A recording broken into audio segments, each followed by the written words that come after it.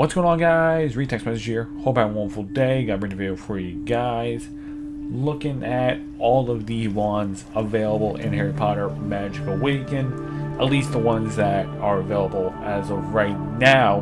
But you can't really obtain like 99% of them. But they do tell you how to obtain them just by a limited time event for the most part. But yeah, some of them are in the store. But thank you to Blade Master 80 for showing me this or telling me about it because I made a video the other day about all the ones in the beta and he told me about this and I didn't know this was even here.